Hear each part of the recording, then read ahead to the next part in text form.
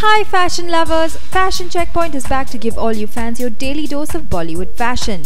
Feisty, moody and notoriously reclusive, actress Kangana Ranaut has stayed away from all networking sites like Facebook and Twitter, thus being rather remote from her fans and admirers.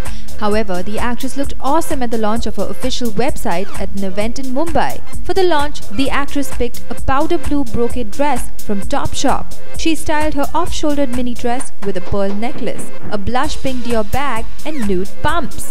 Hair worn in a chic updo and nude lips finished her look out. She just nailed it! We just love her retro look. What about you? Like this video and leave your comments below. And don't forget to subscribe to Fashion Checkpoint for more daily fashion updates. Till then, keep it trendy.